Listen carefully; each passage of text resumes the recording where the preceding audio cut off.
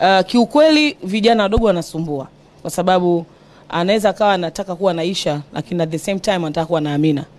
At the same time anataka kuwa na Christina. At the same time anataka kwa kwa hapo ana, ana, ana mwanamke muuza nywele, ana mwanamke sijui anafanya kazi benki, ana mwanamke mwimba taarabu, kwa hiyo ana, ana kazi yake.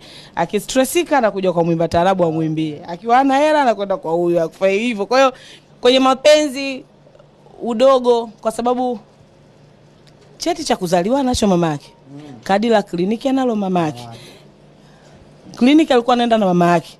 So mi kwangu akija na maana huyu ni mkubwa mwenzangu. Kwa hiyo kikubwa ni kwamba tu, turidhiane, kwa sababu ukiamua kuwa na mtu na yeye, unajua hata sisi watu watu wanasema okay fine, watu wazima wanapenda watoto sometime. Uh, mtoto anapenda, anapata tulizo kuna muda mtoto anapata tulizo, kwa maana kwamba anaweza akaja pale labda na kitu hichi. Kwa hiyo mtu mzima anakuwa anajua okay fine, iko hivi basi tusaidiane. Wewe unaishi kwa kumsaidia ama tunasaidiana, kumbe unaweza kuwa hata habari na wewe. Unajua hata sisi watu watu wanasema okay fine, watu wazima wanapenda watoto sometime.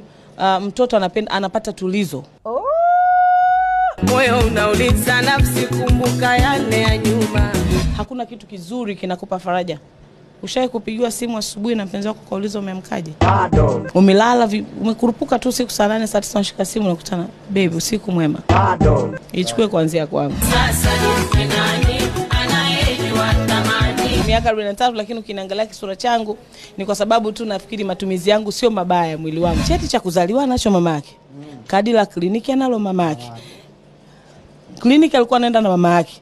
So mi kwangu akija na maana ni mkubwa mwenzangu. Don't miss Refresh leo jioni saa 12 kamili on Wasafi TV.